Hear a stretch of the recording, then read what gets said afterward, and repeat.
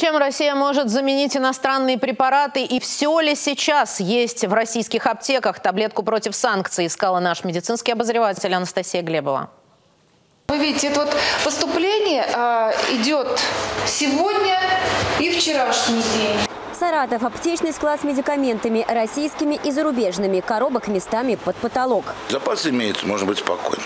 Причем это относится как непосредственно к стационарным препаратам, так и к препаратам, которые получают наши льготники. Все куплены заранее. Нехватка лекарств – самая обсуждаемая тема начала весны. Неподтвержденные слухи о дефиците породили нездоровый спрос.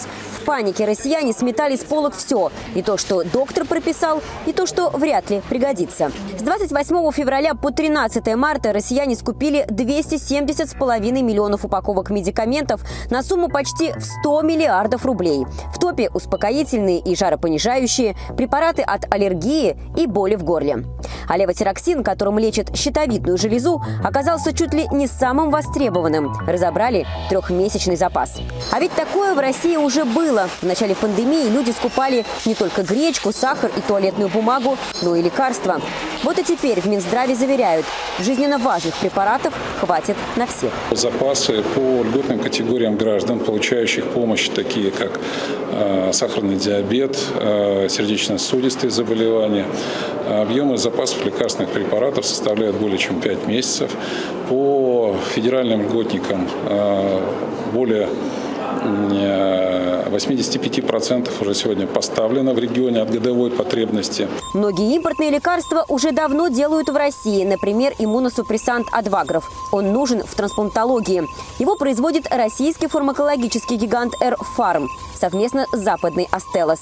Отказываться от сотрудничества компании не собираются. Сейчас основные, так сказать, опасения, связанные с дефицитом, у многих возникают даже не в связи с логистикой, а в связи с тем, что какие-то отдельные компании могут установить поставки. Медицину санкции не затронули. В Петербургском исследовательском центре рака получат все, что прописано в контрактах. Оборудование, расходники и препараты. Скоро к борьбе с онкологией подключится Росатом. Несколько лет там создают аппарат лучевой терапии «Оникс» и гомотерапевтический комплекс «Брахиум». Когда пациент, лежащий на столе, подвигается э, внутрь этого КТ, то гантри начинает вращаться и делать, соответственно, снимки с разных сторон.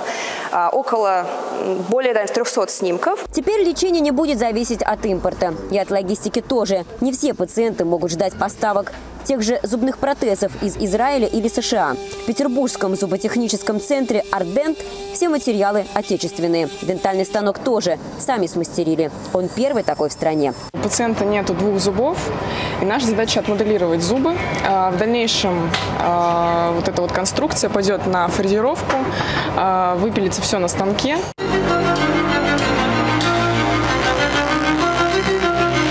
Найдется альтернатива и привычным брекетам. Российская компания Star Smile делает элайнеры – специальные капы для выравнивания зубов. 10-12 месяцев, и у вас голливудская улыбка. Мы первые, кто начали это делать.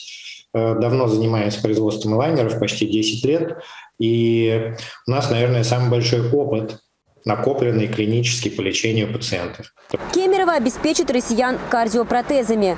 По качеству они не уступают импортным и не требуют длительного приема препаратов для разжижения крови. Продукция отечественная и только часть комплектующих из Индии и Китая. Данный биопротез носит название Uniline. Это один из наших основных а, биопротезов. Он имплантируется в сердце человека при различных заболеваниях. В случае, когда у пациента, к примеру, а, бактериальный эндокардит. Из-за проблем с логистикой в оптиках дефицит популярных контактных линз Джонсон и Джонсон, хотя компания не прекратила поставки в Россию. В стране есть аналоги. Стерлитамак – один из российских центров офтальмологии. Вот уже 30 лет здесь производят линзы и растворы для них. Лекарствами и оборудованием Россия может обеспечить не только себя, но и соседей. Российский биотехнологический холдинг «Алкарбио» производит реагенты для анализов на гормоны, аллергию, ВИЧ, гепатит, COVID-19. Испытания проводятся здесь же, в собственном виварии, на лабораторных животных. А, мы поставляем нашу продукцию практически во все страны СНГ, в ближние и дальние зарубежья.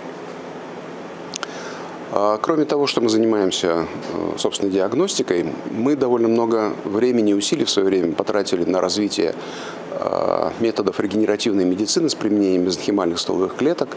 Довольно далеко в этом продвинулись. Э, особо, особенно интересны были результаты по лечению инфарктов, инсультов, костных переломов, не только мы, но и нам готовы помочь соседи по содружеству. Беларусь, например, успешно делает дженерики.